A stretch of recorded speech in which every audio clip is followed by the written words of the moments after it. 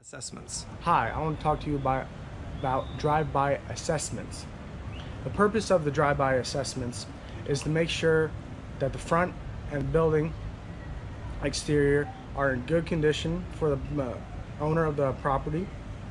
We do this frequently, and if you see me in this shirt, I'll just be taking a couple photos and I'll be on my way.